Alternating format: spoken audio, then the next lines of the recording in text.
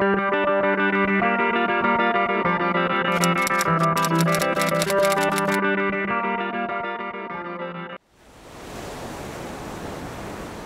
الشتاء هذا العام شديد للغاية مما أدى إلى غرق في شوارع الإسكندرية وذلك بسبب اندفاع المياه خارج البحر. ولهذا لم يعد فصل الشتاء بطبيعته المعهودة من الفصول المحببة لدي الكثير من أهل الإسكندرية.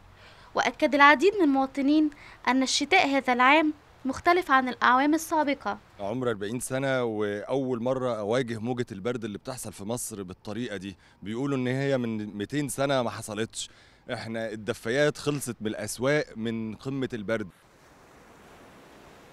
ونشر الكثير أيضا من المصريين العديد من الرسومات الساخرة التي تعبر عن مدى شعورهم بالبرد.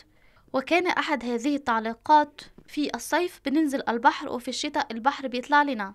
وصورة أخرى أيضا للموناليزا وهي ترتدي البطانية وشخص آخر يعلق ساخرا. حتى أنت يا موناليزا.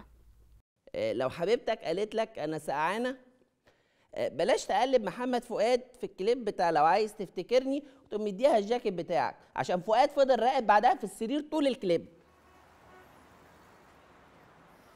وما زالت تقاليد المصريين من تناول الحمص الشام والذرة المشوي مستمرة وازدادت أيضا هذا العام وذلك للتخلص من هذا البرد الشديد الذرة المشوي والفشار أكتر حاجتين يعني بيعوضونا عن البرد شوية يعني.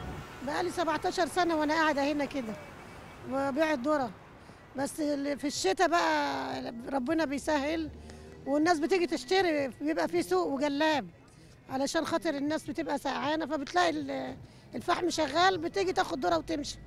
وبتاخدوا بيطلعوا على كوبري الكوبري فوق بيشربوا حمص.